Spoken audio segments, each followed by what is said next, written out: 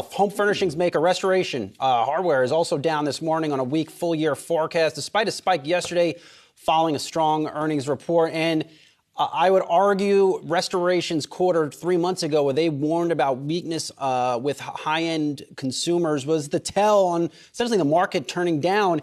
And you look at this uh, earnings recall performance by the company, I would say they upgraded their warning because they're now seeing weakness uh, amongst the higher end, con- con- higher end consumers that shop at stores, noting a lot of aggressive discounting in the industry. Of course, uh, definitely not a good sign when you see discounting, especially in the furniture industry.